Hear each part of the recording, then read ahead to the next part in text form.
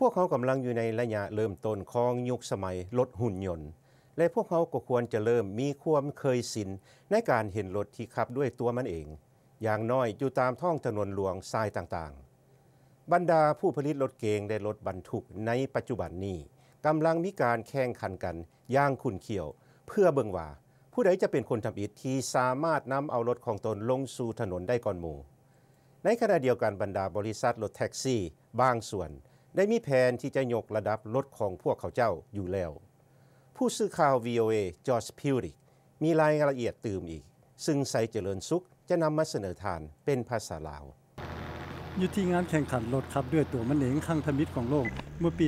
2004 ບໍ່ມີລົດຍົນຄັນໃດເລີຍແລ່ນໃນສະໜາມໄດ້ຢ່າງສຳເລັດ ເຖິງແມ່ນວ່າຈະມີເຄື່ອງເຊັນເຊີ ເຣດາ เลเซอร์ และกล้องถ่ายภาพต่างๆ เหล่านั้นติดตั้งอยู่ในรถก็ตาม ในปีต่อมารถ5คันได้แล่นไปฮอดจุดหมายสุดท้าย และในปี 2007 มีรถ6คันได้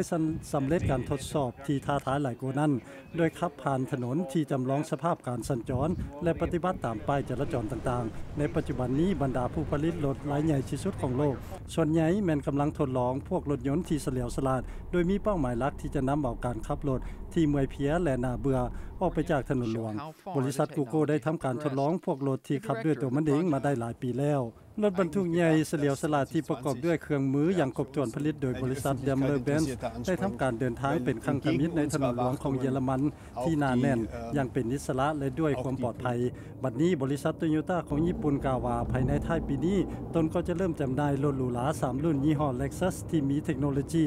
ขับด้วยตัวมันเอง กับมดสิ่งที่ผู้ขับต้องได้เหตุอยู่ตามต้องถนนหลวงนั้นแม้จะสามารถเหตุได้โดยการขับรถอัตโนมัติด้วยการนำใช้เครื่องเซ็นเซอร์ต่างๆเซ็นระบบบอกตำแหน่งของโลกหรือ GPS และเทคโนโลยีให้สายระยะสั้น ซึ่งพวกรถนี้จะสื่อสารกับรถสลาดคันอื่นๆ และโครงสร้างข้างถนน เพื่อติดตามเบิงการสัญจรอยู่ออมแอมและเตือนคนขับให้หู้ถึงอันตรายต่างๆ ที่อาจเกิดขึ้นได้ พวกเขาต้องการอยากจะลดพรอุบัติเหตุในท้องถนน การสูญเสียชีวิต และการได้รับบาดเจ็บ ที่มาจากอุบัติเหตุต่างๆ และเพื่อผ่อนคลายสภาพรถติดที่มีอยู่ทั่วไปตามทางด่วนต่างๆ นอกจากนั้นพวกเขาต้องการอยากจะสนองพาหนะประเภทที่เป็นอิสระหลายขึ้นสำหรับมดทุกคนรวมทั้งผู้เฒ่าผู้แก่และผู้ที่พิการ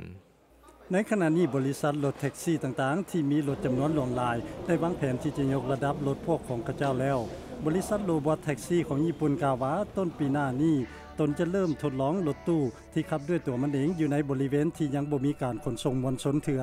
ในขณะที่กฎหมายต่างๆ ในญี่ปุ่นปัจจุบันนี้บ่อนุญาตให้รถที่บ่มีคนขับแล่นได้อยู่ถึงท้องถนนหลวง พวกแท็กซี่หุ่นยนต์จะมีคนขับที่ได้รับการฝึกอบรมมาเป็นพิเศษ เพื่อจะเข้าควบคุมพวงมาลัยในกรณีเกิดเหตุสุกเสริญขึ้น ใส่เจริญสุข VOA